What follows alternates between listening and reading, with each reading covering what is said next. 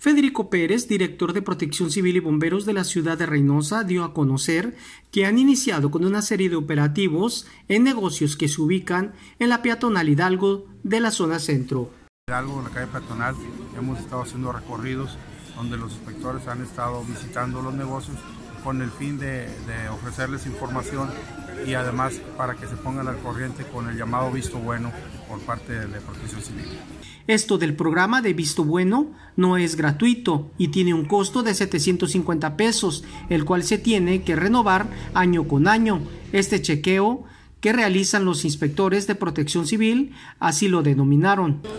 Sí, mira, eh, el visto bueno tiene un costo alrededor de 750 pesos y bueno, eh, las inspecciones se hacen aleatorias a, a los negocios y eh, pues la ley lo marca que tienen que tener su visto bueno por año.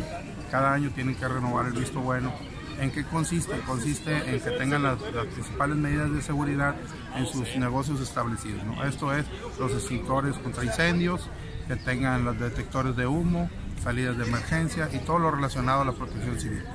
La finalidad de cada negocio es que estén protegidos por si ocurre cualquier contingencia de incendio y se tenga que evacuar el edificio. Les ha informado Jorge Alberto Peralta.